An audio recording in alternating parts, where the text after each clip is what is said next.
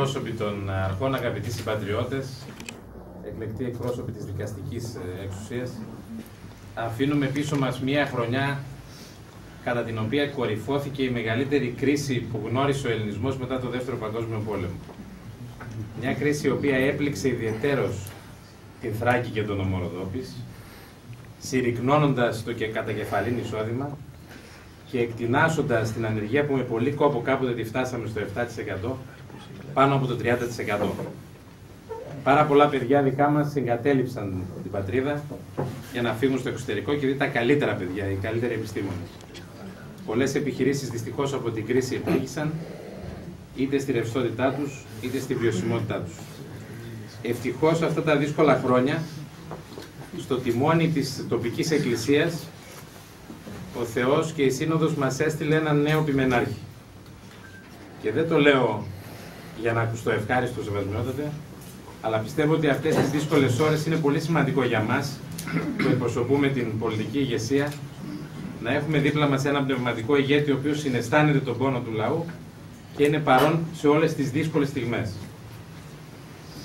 Νομίζω ότι σε τέσσερα σημεία απολογιστικά εγώ μπορώ να σταθώ αυτή της περίοδου για να τηρήσουμε και την παράδοση στην οποία αναφερθήκατε.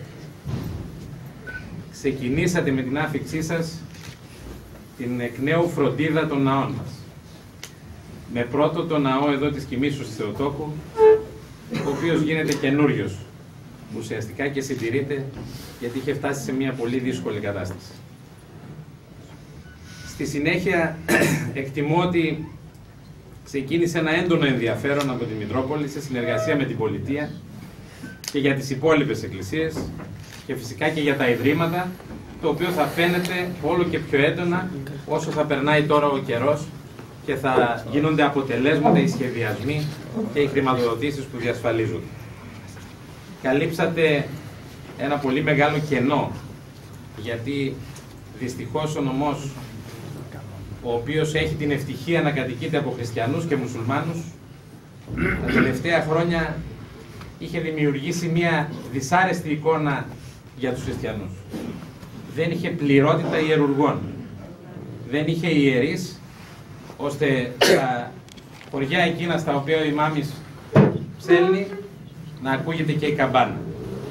Είναι πρωτόγνωρο το ότι μετά από τόσα χρόνια εκκλησία και πολιτεία κατεξαίρεσε στη Θράκη και ιδιαίτερος στον νομό διασφάλισαν την ενεργοποίηση περισσότερων ιερέων για να αρχίσουν να καλύπτονται τα κενά. Και βεβαίως, όπως ξέρετε και εσείς πολύ καλά, τελειώνει ευχάριστα αυτή η χρονιά με την προχθεσινή απόφαση του Υπουργού Ανάπτυξης να εγκρίνει το απαραίτητο ποσό ώστε το 2015 να δημιουργηθεί ένα νέο Μητροπολιτικό Κέντρο στην Εκκλησία της Μητροπόλεως Μαρονίας και Κομοντινής με μια ισχυρή χρηματοδότηση που μέσα από την περιφέρεια θα μας δώσει τη δυνατότητα πραγματικά να δημιουργήσουμε εδώ ένα ε, κέντρο διοικητικό της Ορθοδοξίας περιοχής Σημαντικό έργο για τη νεότερη γενιά της περιοχής είναι οι κατασκηνώσεις οι οποίες ε, θεμελιώσατε. Κατασκηνώσεις οι οποίες θα δώσουν τη δυνατότητα όχι μόνο να φιλοξενήσουμε παιδιά από την περιοχή και την υπόλοιπη Ελλάδα στην νομό αλλά να αναπτύξουμε και ένα κέντρο εκκλησιαστικού τουρισμού που θα έχει άμεση επίπτωση και στην οικονομική ζωή της πόλης και του νομού. Αυτά είναι τα πρώτα βήματα. Και για μένα αυτά τα, τα βήματα είναι τα πιο αισιόδοξα μηνύματα σε μια απεσιόδοξη χρονιά την οποία αφήνουμε πίσω. Για να μην κουράσω, μπαίνουμε στο 15. Το 15 είναι ένα κρίσιμο έτος. Και φοβούμαι ότι θα είναι και πολύ δύσκολο έτος. Ε, δεν συμμερίζομαι την άμετρη αισιοδοξία, ούτε όμως και την άμετρη απεσιοδοξία ορισμένων.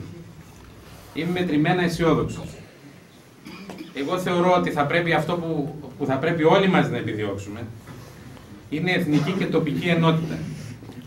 Να αφήσουμε στην άκρη κομματικές και προσωπικές διαφορές. Να συναισθανθούμε ότι αυτός ο τόπος χρειάζεται διαφορετική προσέγγιση και μεταξύ των σύνικων στοιχείων, αλλά και μεταξύ των ίδιων των χριστιανών, τους οποίους εκπροσωπεί η Ορθόδοξη Εκκλησία. Δίκαιη και ισόρροπη εκπροσώπηση των σύνικων στοιχείων σε όλα τα επίπεδα. Διότι αν αυτό δεν επιτευχθεί, φοβούμε ότι κανένας εκ των δύο δεν θα βγει ωφελημένος. Παράλληλα, χρειάζεται να κατανοήσουμε ότι για να είμαστε υπολογίσιμοι εκεί κάτω, εκεί που παίρνονται οι αποφάσεις, στην Αθήνα, πρέπει να είμαστε ενωμένοι και δυνατοί. Διότι όσες φορές ήμασταν απόντες, και ο νομός Ροδόπης το ξέρει αυτό, διότι για 50 χρόνια ήταν απόν από τα κέντρα των αποφάσεων, είναι βέβαιο ότι η εγκατάλειψη τον προσδιορίσε. Η εγκατάλειψη και η αδικία.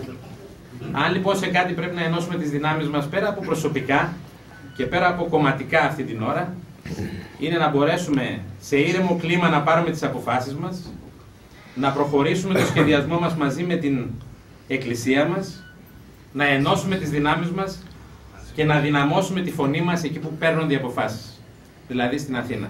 Κάνοντας αυτούς που αποφασίζουν, ό,τι χρώμα και αν έχουν και ό,τι καπέλο και αν φορούν, να σέβονται αυτή την κοινωνία η οποία υπέστη πάρα πολλά και δεν έχει καμία διάθεση να τα ξαναυποστεί.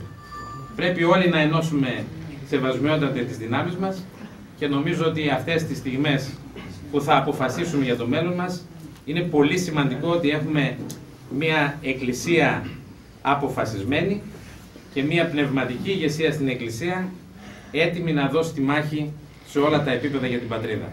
Σας ευχαριστώ πολύ και καλή χρονιά σε όλους.